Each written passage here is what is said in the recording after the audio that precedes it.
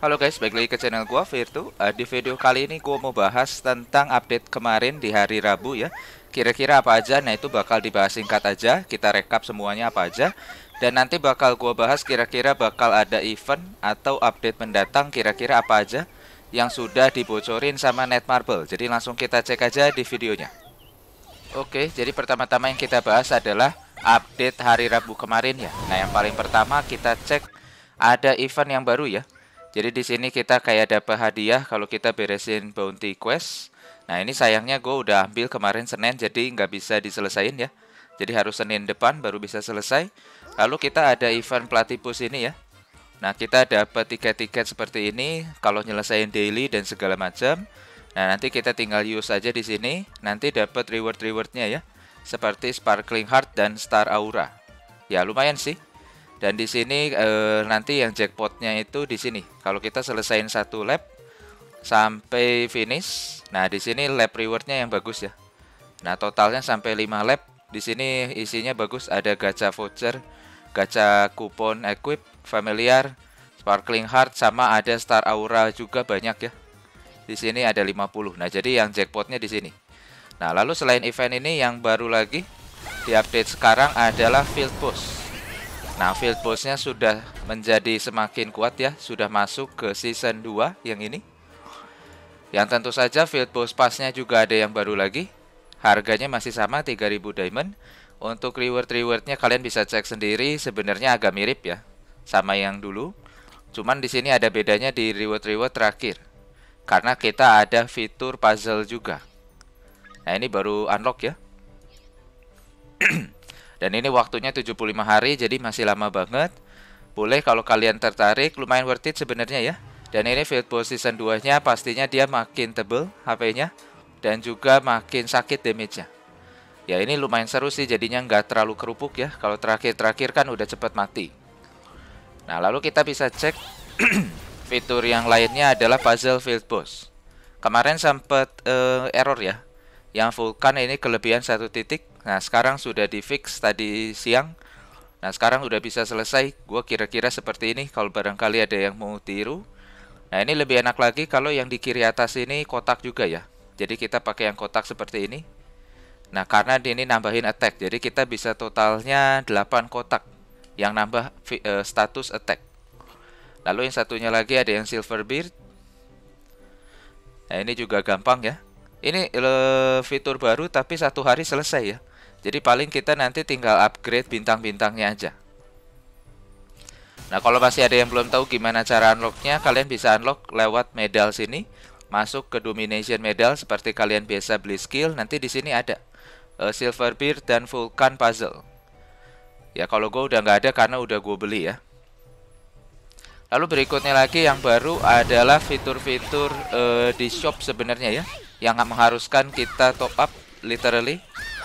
Seperti mount baru lumayan bagus BG dan juga ada kostum baru yang di shop ya.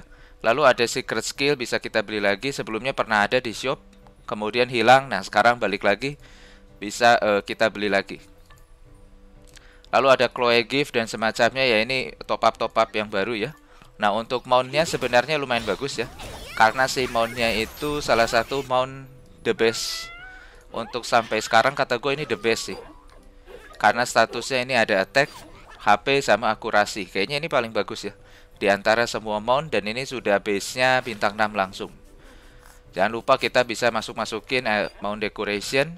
Jadi semakin banyak mount yang kita punya pastinya CP kita semakin kuat ya nah ini karena ada fitur mount decoration nah lalu satu lagi adalah sistem uh, familiar familiar gacha summonnya sekarang sedang berubah ya.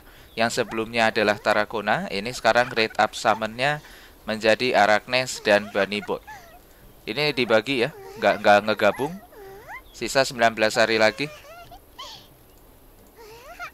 Ya ini seperti biasa kalau misalkan udah waktunya habis, PT-nya nggak e, ke bawah ke event yang selanjutnya dia bakal reset. Nah, berikutnya ini kita bahas untuk upcoming event ya. Jadi event yang bakal datang kira-kira mungkin minggu depan ya. Sebentar lagi. Ini sudah dibocorin ada di forum Netmarble-nya juga. Jadi kalau kalian mau cek sendiri juga bisa ya. nah, jadi di sini palingan cuman hanya katanya clear event mission. Ya, lalu nanti kita bakal dapat reward juga. Ya, ini sebenarnya standar ya, sederhana ya. Kayak beresin daily dan segala macam. Misi-misinya ada yang disuruh masak, ada yang suruh crafting. Ya, ini standar ya. Daily-daily kita biasanya. Ada conquest, lalu harvest dari gardening ya lalu pakai gold, daily dan segala macam. Hadiahnya ya ini juga beda-beda ya. Ada upgrade stone, ada feather taser ini buat upgrade mount, teritnya yang kebon nggak bisa dijual belikan. Lalu ada bintang tiga ornamen, ornamen itu kayaknya mount decoration ya. Kalau nggak salah ya, tapi kalau salah boleh dikoreksi. Lalu ada batu-batuan uncommon, nah ini lumayan nih. Buat nampak dari 11 sampai 20. Untuk sampai sekarang masih kurang ya event atau apa pun yang e, ngasih rewardnya superior ya yang 21 ke atas ya yang common sekarang masih paling banyak lalu ada bintang 4 episode familiar nah ini menarik nih ini nggak tahu nih kira-kira familiar episode itu kayak gimana maksudnya Arachnes atau Bunny Bot yang sekarang lagi rate up atau nanti familiar baru lagi ya atau event yang limited eh familiar limited seperti Jenny ya seperti toko maksudnya Nah, itu bisa juga. Kita tunggu aja. Lalu ada event celebration. Ya, ini untuk uh, update baru Capital Kingdom. Nah, nanti ini ada fitur baru ya, semacam Kingdom War memperebutkan ibu kota, capital. Nah, di sini ada misi-misinya juga banyak ya. Kira-kira apa aja? Ini sebenarnya untuk menyambut Capital Kingdom fitur yang baru. Hadiah-hadiahnya lumayan bagus ya. Ada ornamen pinpot, leaf, feather taser, buat mount lagi, mirip-mirip lah. Intinya ini segala macam material lengkap ini ya. Ada macam-macam. Dan sampai sekarang masih belum ada juga untuk superior enhancement stone ya. Untuk 21 ke atas.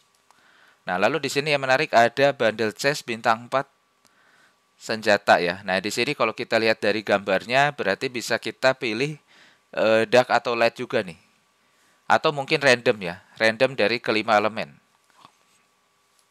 Wah ini kalau lebih enaknya lagi kalau kita bisa pilih uh, yang rare ya, tapi gue yakin ini bukan rare sih. Lalu ada Fight for the Throne opening event, ini hadiahnya ornamen bintang 4. Ya lumayan menarik ya, itu salah satu uh, bocoran untuk event-event mendatang. Nah yang berikutnya ada developer notes satu lagi ya. Ini sama ada di forum Netmarble-nya juga.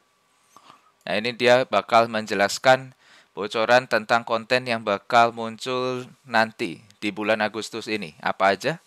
Ya termasuk Kingdom War, Fight for the Throne, ada Capital Kingdom, lalu ada fitur pet ya. Jadi ini bukan familiar ya. Jadi kalau di game ini pet sama familiar itu beda. Jadi kita harus sebutnya beda ya. Lalu ada perubahan improvement. Nah, lalu yang menarik adalah ini fight for the throne ya. Jadi ini kayaknya kingdom-kingdom yang paling kuat di satu server. Ada empat kingdom bakal bertarung satu sama lain ya.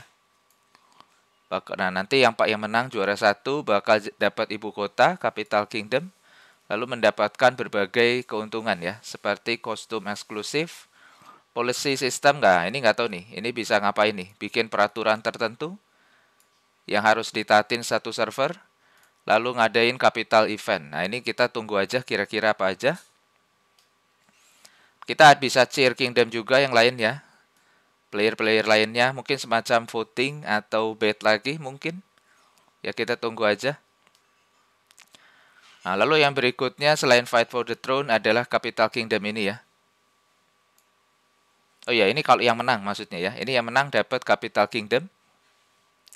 Nah ini hanya limited time ya, mungkin cuma seminggu atau dua minggu kita nggak tahu nih. Capital Kingdom ini bertahan berapa lama? Ini ada contoh gambarnya ya. Nah nanti gue bakal kasih lihat kira-kira klip eh, salah satu contoh peperangannya Capital Kingdomnya seperti apa. Nah, lalu ini eh, terakhir adalah pet nih. Nah, pet itu adalah salah satu fitur baru yang nanti bakal nemenin kita dan men- eh, ngasih kita buff ya. Ada skill effect dan status. Katanya seperti contohnya turret drop, rate-nya nambah. Ada yang item drop nambah. Beda-beda ya. Katanya pet itu hanya muncul ketika peaceful mood, tapi bakal menghilang kalau kita battle atau masuk ke dungeon. Tapi untuk statusnya, buffnya semuanya tetap ada ya, walaupun tampilannya menghilang. Nah, yang menarik adalah pet itu nanti bisa kita dapetin dari pet summon. Kayaknya tiketnya beda ya, sama familiar.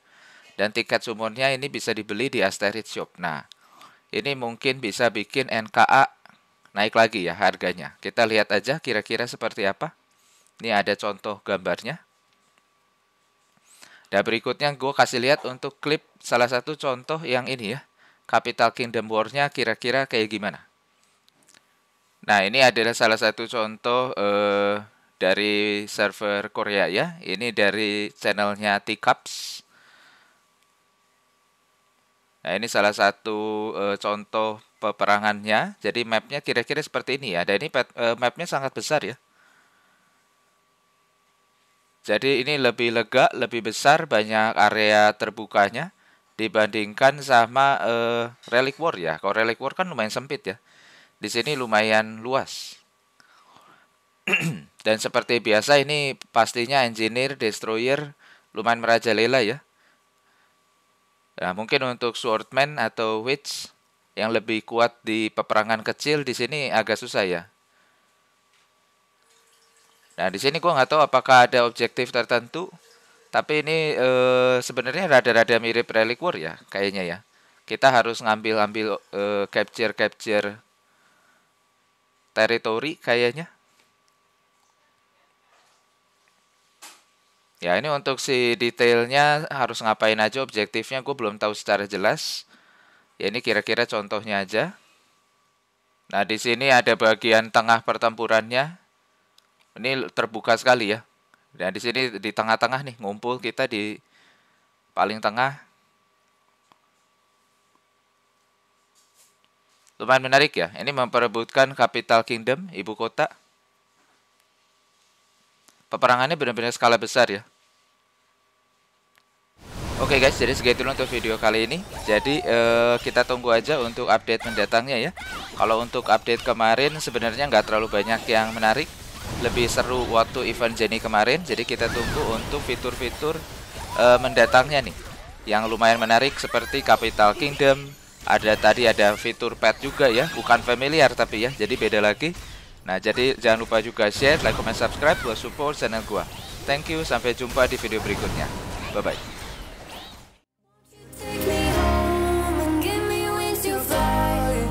can we